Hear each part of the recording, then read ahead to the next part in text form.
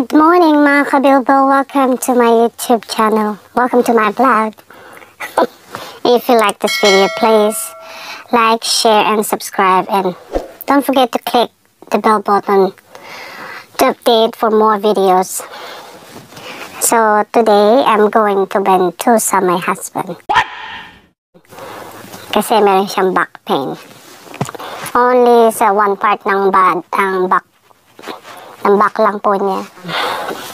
To let the pain away.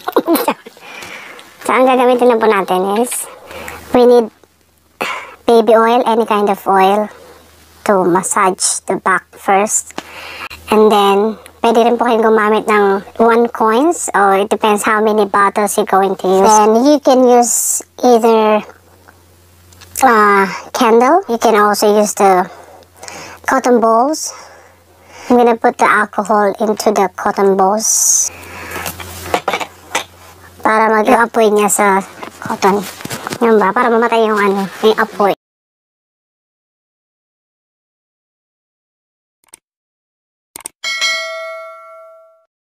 ginagawa mo?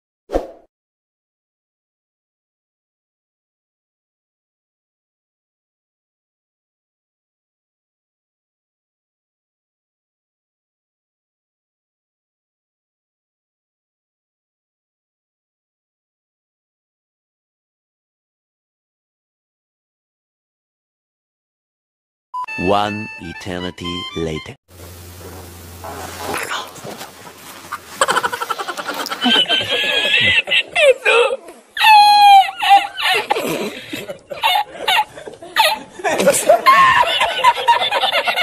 Simulan na po natin ating pagviventusa guys. So I'm going to use the oil. First, punasan natin yung back. Tinuro ko na doon. This one.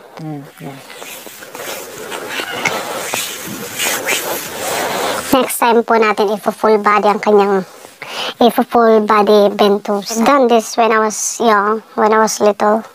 When one of my aunties showed me how to use it and do it to themselves. Do it for them. So where's the coin? Parang may problema. Oh my god, I've lo- I look I found it. I thought I lost it. So, dito, dito ba dito? Oh, ilalagay na po natin tong coins. Here, here's where's the pain comes, right? Okay. Alright.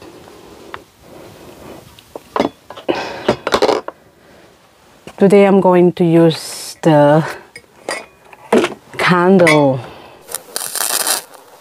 Akan po natin kasi ito eh, para dumikit siya, di ba? Kahit di na siguro. Dito ba? Basta ka lang gagalaw ha. Pag gumalaw ka, pasok yan likod mo. Char. Dahan-dahan lang po natin ipatong yung glass. Just slowly putting down the glass into the... Magmamamatay po siya ng kusa. So medyo i-hit po natin ng konti yung glass. Ang use po ng bentosa is para higupin yung lamig ng likod. Ayan po yung nagkakos ng mga back pain. So, mahiya nakakapagod po kasi lagi mag-massage. So, ito po ang idea ang naisip ko. Na, okay, so we're going to put it down again. Just slowly.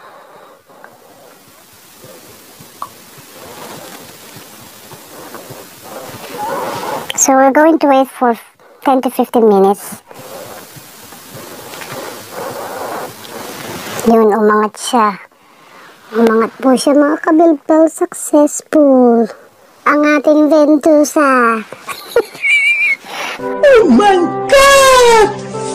Wow! So we're back mga kabilbel. We're going to take the glass off now. So, slowly lang po.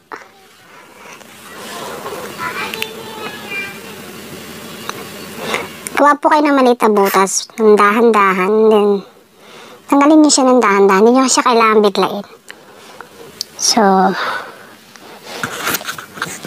Okay, natanggalan natin ang ating glass. Ito na pong ating coin with candle. Next time, I'll show you, next video, I'll show you how to do the whole body. Bahay, sa mga house niyo rin siyang gawin. You don't have to worry, hindi po siya nakakatakot dahil yung apoy, madali, natatanggal po siya kaagad pag cover niyo ng, ng glass, ng baso. So, safe po siya mga kabilbil.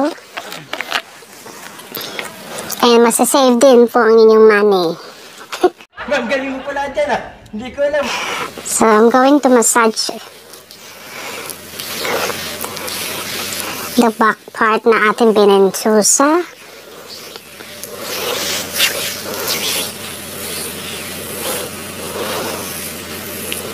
I hope it works.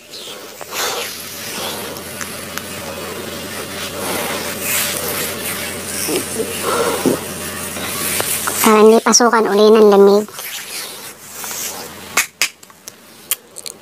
Done. See you next time, guys. Thanks for watching.